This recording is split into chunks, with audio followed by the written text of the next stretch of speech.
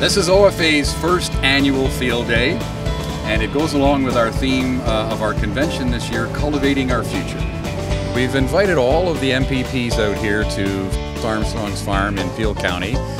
So it's a chance for MPPs to get out of the city, uh, very relaxed setting, uh, talk to farmers. Uh, I relearned the importance of agriculture production in Ontario, uh, how it really affects uh, every aspect of our our society here and how important it is to our economy uh, and overall to our culture in, in the province. Uh, it's a message that I think politicians need to hear quite often and uh, one that I hope uh, at least the members that have been here today make a priority when we return to the legislature in September. Yeah, excellent.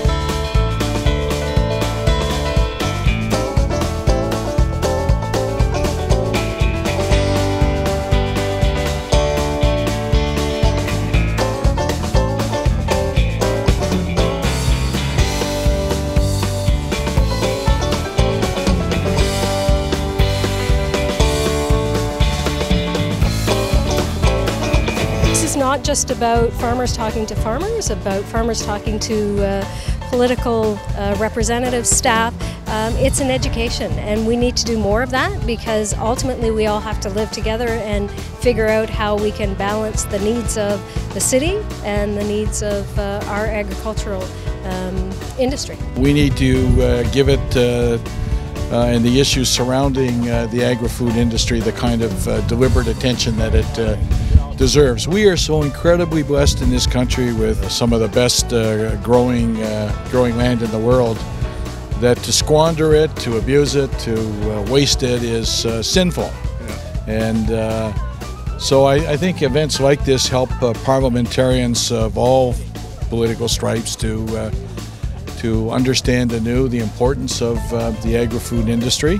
And today was, in my mind, a tremendous success. Even if I just listened to the kinds of questions that people asked as we went through the various stations for, uh, for today's tour, it was clear that uh, people were, in some cases, overwhelmed by the size of the equipment, the cost, the kind of numbers we're talking about in terms of uh, being able to provide uh, the kind of food and quality that uh, we all expect.